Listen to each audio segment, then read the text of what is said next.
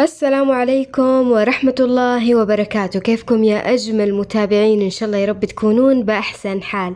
يا هلا وغلا فيكم نوريني جميعا وحياكم الله في قصة جديدة من قصصنا. ولكن قبل ما نبدأ بسرد القصة صلوا على النبي. اللهم صل وسلم وبارك على سيدنا محمد وعلى آله وصحبه أجمعين. وننطلق لقصة اليوم وتقول صاحبة القصة. يا هلا والله. أعترف إني أنا حابة اليوم أفضفض وأحكي وأقول اللي في نفسي واللي أنا كاتمته ولا أحد يعرفه إلا الله سبحانه وتعالى. أول مرة أقوله لأي أحد لأنه أصلا ما يشرفني إنه أحد يعرفه يعني شيء مو حلو. فقصتي تبدأ من الطفولة. أنا عشت طفولة سيئة جدا طفولة قاسية. أمي جدا كانت قاسية ما كانت ترحم. وأبوي نفس الشي يعني شديد. غير هذه الأيام يعني أبدا سبحان الله الحين الكل متساهل حتى مع أخواني. ما لهم كلمة عليهم أبدا. فأنا من دولة عربية. أمي كانت يعني لما أغلط أي غلط بسيط كانت كده تشيلني عند البوتاجاز وتكويني بالنار على قاع رجلي. وخلاص أصير أمشي عرجاء وإلى الآن هذا الشيء أثر علي. تخيلوا أجلس أسبوع يمكن وأنا خلاص أمشي بس بشوز واحد والشوز الثاني. لا ماسكته في يدي من كثر ما أقدر إني مثلا ألبسه أو أدعس حتى على رجولي. لأي سبب كان كانت دايما تستخدم العنف والشدة معاي. وأبوي ما يقل عنها سوء. أبدا ما عندهم شيء اسمه احتواء أو إنه يعني تفاهم أو إنه حتى تعديل سلوك لا. يعني كان كنت انضرب على كل شيء بس ما أعرف أنا ليش انضربت. يعني إيش الصح؟ إيش لازم أسوي؟ عرفتم؟ يعني أعرف إن سلوكي سيء بس طيب إيش السلوك الصحيح اللي بالمقابل لازم أنا أسويه؟ ما كانوا يعلموني. أبوي كان يضربني كذا بالشبشب على راسي لين أنام. والله أنام وأحيانا المخدة كذا تتغطى دم يطلع من أنفي طول الليل ولا يهتم يا ويلي بس لو تحركت عشان أغسل ولا عشان أي شيء. فكنت أنام من خوفي. فاللي اكتشفته اللي عرفته بعدين لما أنا كبرت أن أمي عاشت طفولة قاسية جدا. تربت عند خالاتها زوجات جدي. وعند نساء أخوانها. فكانت عندهم زي الشغالة بس تربي الأولاد الصغار تجيب الموية تغسل الملابس تنظف بيت وش كبرة. وأبوي نفس الشي يتيم. ماتت أمه وهو صغير ما يعرفها حتى. وجدي اللي هو أبوه كان مزواج. فأمي تزوجت أبوي وهو كان مغترب كان صغير بالعمر. فجابت أختي البكر ويومها أمي لما تزوجت وجابت أختي الكبيرة كانت جدا صغيرة يعني حتى إنها ما لقحت يعني لأختي ضد الحسبة من كثر ما هي جاهلة ما تعرف شيء. بعدين سبحان الله مرضت أختي بالحصبة وماتت تقريبا بعمر سنتين. فأبوي رجع من الغربة وانقهر على البنت يعني لأنها بكر وكان مرة يحب أختي. يقولون إنها كانت ذكية مرة من عمرها سنتين وكانت حبوبة. فانصدم أبوي وبطل يعني إنه يروح يعني يشتغل في الغربة وكذا عشان يطلع فلوس بحكم إننا يعني جدا فقراء على خط الفقر. فخلاص لما حملت أمي فيني بطل إنه يروح يشتغل عشان يربيني وينتبه علي. يعني ما كان يوثق في أمي ما صار عنده ثقة في أمي وإنها تقدر تربينا وتحمينا. فعاش أبوي وأمي بفقر. كانت الأيام جدا قاسية وأبوي يعني ما سوى شيء أبدا. حتى لما راح اغترب رجع خالي اليدين ما كان عنده أي شيء يعيشنا. كبرت وبعدين جو إخواني بنتين وولدين. فأمي ما حبت أبوي ولا بحياتها حبته. ما كان أصلا بينهم انسجام أبدا. تحسون كذا عايشين متفككين. ما في شيء اسمه حب ما في مودة ما في رحمة بيننا. بل على العكس دائما أمي تندب حظها. دائما تقول الله لا يبارك في اليوم اللي تزوجتك فيه. أنا تزوجتك ليش؟ أنا ما أدري إيش. إيش اللي حادني عليك؟ من هذا الكلام. وأنا دائما تقول يعني أنا ماني قاعدة إلا بس عشان عيالي اللي هو يعني أنا وأخواني. ورجلية. أنا صراحة كنت ذكية جدا في الدراسة ودائما دائما كنت من الأوائل من وأنا صف أول إلين آخر سنة لي. فكنا نعيش حياة بسيطة. كنت ألعب مع البنات والعيال في نفس الحارة. فكانت واحدة من صديقاتي غنية مرة ما ناقصها أي شيء أبدا كل شيء متوفر لها. كانت هذه دبة يعني دبدوبة من جد. بس إنها ما كانت تحب الدراسة كانت دايما تحب الشقاوة بس ما أعرف إلى الآن إيش السبب يعني اللي خلاها تسوي هذا الشي معي. دحين بجيكم بالتفاصيل. المهم كنا نروح أنا وياها لسوق الخضرة. كنا نشتري خضار لأمي أنا وياه. كانت أمي تعرفها وتحبها يعني عشانها غنية طبعا مو عشان شيء. المهم في مرة من المرات رحنا لسوق الخضار عشان نشتري وكان الرجال اللي يبيع كان يبيع طماطم. المهم أعطيناه الفلوس. بعدين ما رضي يعطينا يعني أي شيء. قال الفلوس مرة قليلة وما تجي إلا حق طماطمة واحدة بس. فقمنا أنا وياه هذاك اليوم زعلنا وكنا نبغى ننتقم منه. جينا كذا من وراه وكان في سلة طماطم. قامت صديقتي تراقب وأنا أسرق كذا من وراها من الثقوب اللي في السلة. وأسرق وأسرق. يمكن وصلت يمكن 12 أو 13 طماطمة. واللي ساعدنا في هذا الشيء إن الشايب كان مرة مشغول وكان هذاك اليوم زحمة زحمة الناس رايحة جاية بس ما كان أحد منتبه لنا لأن حنا كنا أطفال. فلما عبينا الكيس خلاص رحنا فرحانات ورجعنا لأمي. أعطينا لأمي الفلوس والطماطم. طبعا كان هذا أول بذرة للشر. فأمي فرحت كثير وأخذت الفلوس والطماطم حتى ما وبختنا أبدا ولا جابت طاري أصلا من فين جبتوها رغم إن رجعنا لها الفلوس. فحنا عجبتنا الفكرة. صرنا كل يوم نروح السوق يعني عشان نستمتع بالسرقة. مرة خواتم مرة إكسسوارات مرة خضروات بكل أنواعها مرة فواكه حلويات والله حتى الأدوات المكتبية. كنا نسرقها مع إنها هي مي محتاجة يعني صاحبتي هذه. لكن ما أدري إيش الدافع اللي كان نخليها تسوي كذا. كنا نسرق حتى أشياء ما نعرفها ولا نعرف كيف نستخدمها ولا في حياتنا قد انكشفنا. فصار عندنا سبحان الله خفة عجيبة في السرقة من غير ما أحد يلاحظنا. مرت الأيام وصديقتي هذه الغنية مستمتعة جدا برغم إنها ما تحصل على شيء أبدا. كل المسروقات اللي نسرقها ليد أمي.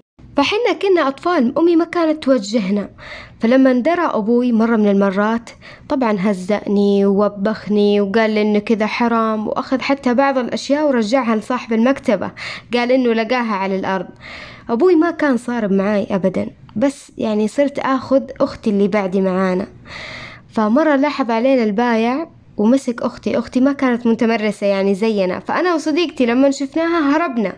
وتركناها وكنا خايفين. بس سبحان الله بعد ربع ساعة كذا جت لنا يعني رجعت لنا وهي بخير الحمد لله. بعدين مرت الأيام والأيام وبطلنا نسوي هذا الشيء. ولكن للأسف إنه هذه العادة ظلت ملازمة لي وساعدتني في حياتي كثير. كيف تقولون كيف يعني ساعدتك؟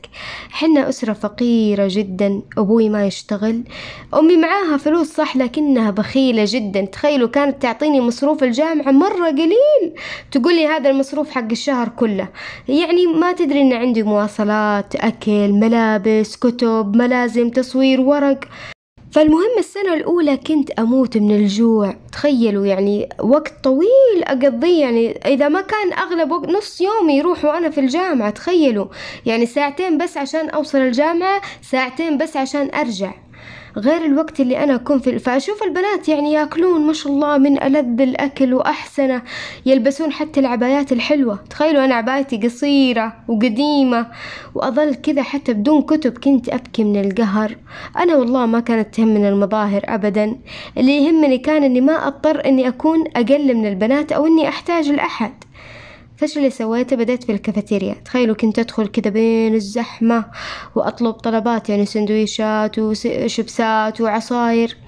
وأقول لهم إني أنا جبت الفلوس. الرجال طبعا مشغول بالزحمة ما يعرف. ما يميز من اللي أعطاه ومن اللي ما أعطاه بس كان في طابور حنا اللي أعطيناه ننتظر الطلب فأنا أصف على طول معاهم. فلا كمان يرجع لي الباقي إنه أنا أقول أعطيتك كذا ورد لي المبلغ الباقي. فعجبتني ذي الطريقة. وصرت يعني أنتظر لين الزحمة تجي وأدخل كذا وأطب بينها وأطلب. ما صرت أحس بالجوع الحمد لله واللي في نفسي أطلبه. يعني كنت أقول حتى لنفسي مو بحرام. ربي أدرى أني أنا محتاجة وأنه ذا الشي ما راح يضرهم. يعني أنا شخص واحد ما حعني لهم بالخسارة الكثيرة يعني. مع أني كنت والله آكل من ألذ الأنواع زي الكباب كبدة كذا عصيرات مركزة وأروح الكشك. وأطلب كتب وأحصل على الملازم والكتب أول وحدة أنا قبل الدفعة حتى. طبعا ببلاش نفس طريقة الكافيتيريا. فخلاص كنت مضبطة وضعي على التمام. الكتب الملازم الورق الأكل الشرب باقي المواصلات. كيف كنت أسوي؟ طبعا حنا كنا نروح باصات أجرة. التكاسي مرة غالية وما في باص حكومي ينقل الطالبات للأسف. والحقيقة زي ما قلت لكم إن بيتي بعيد يعني مسافة ساعتين بعيد مرة عن الجامعة. كنت أركب الباص وقت ما كنا ننزل لازم نعطيهم الفلوس. فأنا كنت أنزل مع البنات كذا وأدخل أختلط بينهم كذا وأدخل بينهم وبعدين انسحب. كأني أنا دفعت الحساب ما حد يدري. طبعا مو دايما لكن بذكاء. كل ما كانوا النازلات كثير والفرصة سانحة على طول رحت سويت هذه الحركة. فصرت أروح السوق ونفس الشي يدي خفيفة. أخذ مسكرات خواتم مناكير أي شي ببالي أخذه. أبوي مرتاح ما همه ولا شيء. أهم شيء عنده إني أنا ما أطلب شيء. وما لا همه حتى من وين أجيب الفلوس طبعا يشوفوني. فأمي تخيلوا كانت تشك إن أنا عندي علاقات مشبوهة. كانت دايما تخاف لكنها ماسكة يدها يعني بس تظل تحذرني كذا وتنصحني. فما كانوا موافقين أصلا على دراستي بالجامعة بس بالقوة وافقوا. لين وصلت سنة ثالث أو رابع جامعة وفعلا اشتغلت وقتها شغل مؤقت في معارض دولية. كان الشغل فيها لمدة أسبوع وبعدين يعني يعطونا الفلوس وكان مبلغ محترم صراحة لا بأس به. وبعدين لقيت مساعدة من جمعية خيرية كانت تدعم الطلاب. وببساطة رحت سجلت فيها وأرفقت مع السجل وكذا ورقة. وكتبت فيها قصة حياتي كلها قصة مؤثرة صراحة. فقبلوا مساعدتي على طول حتى بدون ما يسوون بحث حالة ولا شيء كان يعطوني كل ثلاث أشهر مبلغ لا بأس به. يعني الحمد لله عرفت أدبر حالي. ولكن والله العظيم يا جماعة إنه ما كان عندي أي علاقة بأي أحد من الشباب أبدا ولا أعرف هذا الطريق. فحنا صح جامعة مختلطة لكن ما لفت نظري أي واحد منهم. ما كنت أصلا أنوي على هذا الشيء ولا كان هذا الشيء ببالي. كنت مركزة بس على الدراسة إنه ما تفوتني أي محاضرة ما يفوتني أي اختبار. أظل حتى وقت فراغي في المكتبة أحب إني أقرأ أحب إني أتثقف. ما كان عندي صديقات أبدا. كل ما كانت تتقرب مني واحدة أبعد عنها. ما أعرف إيش السبب بس يمكن ما كنت أبغى أحد يعرف حياتي. فلما تخرجت يعني واشتغلت الحمد لله أتذكر الماضي وكيف إني درست وكيف كملت دراستي. كلها كانت حرام في حرام استغفر الله من الأكل والشرب والأشياء هذه. ف وكتبي كل شيء كان يعني سرقة للأمانة. والله العظيم كل تعليمي كان بالسرقة. فقاعدة أقول أبى أكفر عن ذنبي كيف يعني عمال الكافيتيريا تغيروا ألف مرة وعمال الكشك كمان تغيروا ويعلم الله أني أنا ندمانة ولكن بدون دي الطريقة ما قدرت أكمل يعني تعليمي ولا قدرت أنهي الجامعة. المشكلة أنه هذه العادة لا زالت فيني. رغم إني أصرف مصاريف كثيرة وعندي فلوس الحمد لله وأصرف يعني كثير فعلا في السوبر ماركت كل أسبوع أرجع البيت وأنا محملة كذا بالأكياس وأشتري كل شيء بمبالغ كبيرة. صار عندي حتى رصيد لا بأس فيه في البنك صار عندي بطاقة صراف. طبعا أنا اللي أصرف على البيت من وإلى. أتذكر يوم ما أنساه في حياتي أبدا يعني عشان أقول لكم إن هذه العادة تأثرت فعلا فيني حتى وإن كان عندي فلوس. أتذكر إنه مرة من المرات رحت مول وكنت أبغى أشتري غسول للبشرة. فأنا من قبل كنت ماخذة منهم كريم بس طلع خايس طلع منتهي يعني صلاحيته. كان من وقتها دمي فاير عليهم إنه ليش يعطون آه، منتج منتهي صلاحيته. فقررت إني أعوض فلوسي وأشتري شيء يعني مو أشتري آخذ شيء بدال الغسول اللي أعطوني إياه. فقمت وأخذت الغسول وكذا خبيته في الشنطة فبعد تفكير وخوف وقلق طبعا قلق كبير. رحت أحاسب على اللي أخذته أنا فلوسي وأطلع من السوبر ماركت إلا وألاقي حارس الأمن كذا يوقفني قال لي تعالي معاي. أنا خلاص تيبست. والله العظيم يا جماعة موقف صعب فضيحة من جد. يعني قاعدة في هذاك الوقت أقول يا ربي إيش اللي خلاني أسوي كذا؟ إيش اللي خلاني ماني عارفة ليش؟ أنا عندي فلوس الحمد لله. فلما وصلت يعني المكتب الأمن كنت أبكي صراحة كنت منصدمة وكنت خايفة أنهم كشفوني. وبالفعل طلعوا كاشفيني يعني شافوني في الكاميرات قالوا يلا نتصل بأهلك ولا بأحد من أقاربك. طبعا أنا تجننت مستحيل كيف؟ أنا أفضح حالي بعد بعد بعد ما ربي يعني ستر علي وكل شيء. تجون أنتم تفضحوني كذا. قال خلاص بنوديك النيابة وتحقيق وخوف وكذا يا ابن الحلال ترى بس هو غسول ترى. أنا خلاص منهارة. يقول لي انت مو أول مرة؟ قلت لا أنت إيش سارقة من قبل كذا وأنا أحلف له. أقول والله العظيم إن معاي فلوس. أنا كنت رايحة بس ترى أجيبها لك من الصرافة. المهم جلسوني عندهم ساعة ونص كلها في حلفان. يعني أنا والله ما سويت وأنا سويت وأنا هذه أول مرة وآخر مرة يعني من هذا الكلام. بعدها دخل الشرطي طبعا كان يغمز للبنت البنت اللي تخوفني لها ساعة ونص وشفته بالمراية وهو يغمز لها كذا إنه قال خلاص خلاص بنوديها النيابة. فوقتها عرفت إنهم بس يعني يخوفوني بس عشان أدفع لهم الفلوس. طبعا قمت أنا عنت سكت. قلت لهم ما عندي فلوس ورجعت لهم المهم طفشتهم مرة. فخلاص ما أخذوا مني ولا شيء. المهم بس إنه كتبوني على تعهد إني ما أدخل هذا السوبر ماركت مرة ثانية وإلا بتعاقب. المشكلة إن السوبر ماركت هذا كنت مرة متعود إني أروحه. فالآن زميلاتي يقولوا لي يلا تعالي نروح. أقول لهم لا والله ماني رايحة. وأنا في الأصل يعني ودي إني أروح معهم يعني بس ما أقدر. أخاف إنهم يعني يعرفوني. أخاف إني أنفضح قدام صديقاتي. لأنهم أخذوا بياناتي. وطبعا البنت اللي فتشتني شافت بطاقتي الشخصية وكذا ففعلا كان هذا درس قاسي لي إني أنا وقعت في شر أعمالي. فقعدت أفكر طيب إلى متى وأنا كذا؟ إلى متى وهذه العادة فيني؟ إلى متى أبى أبطلها؟ يعني ماني قادرة.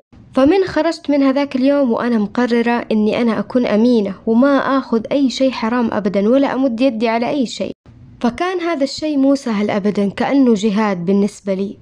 صرت أخاف من نظرة الناس جلست مع نفسي كذا أفكر أقول يا بنت طب الله أغناني الله أطعمني وسقاني وفوق هذا ساترني وأنا لازلت أعصيه وأعرف إنه ذنب وأعرف إني أنا صرت مكلفة.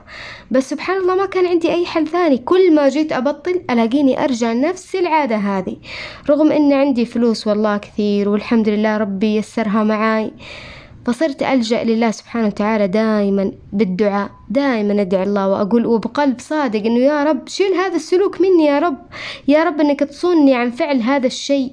فيا رب لك الحمد مع الدعاء ومع الاستمرار ومع القرب من الله سبحانه وتعالى ومع النفس اللوامة اللي دائما صارت فيني. خفت هذه العادة بكثير صرت كل ما أبغى أو يوسوس لي الشيطان سبحان الله بالسرقة أروح أتصدق بنية إن الله يذهب ما بي. وصرت دائما أدعي لين الحمد لله ما خفت هذه العادة وانتهت بفضل من الله سبحانه وتعالى. فاللي أبغى أوصله للآباء والأمهات تراكم مسؤولين قدام الله سبحانه وتعالى عن أبنائكم وبناتكم فأحسنوا تربيتهم بما أمر الله فبليز يا جماعة لا أحد يقول لي إني أنا سراقة ولا يكتب لي كذا. لا والله العظيم أقسم بالله هذا الكلام يعني من سنوات قديمة جدا لكن سبحان الله أحس بتأنيب الضمير أحس بالذنب أحس إن الله غاضب علي. فادعوا لي الله يسعدكم ادعوا لي إن الله سبحانه وتعالى يغفر لي ما مضى. وإلى هنا انتهت قصتنا لليوم. أتمنى أني أشوفكم في قصة جديدة وفيديو جديد. أنا وأنتم بخير دائما إن شاء الله. إلى ذلك الوقت أستودعكم الله.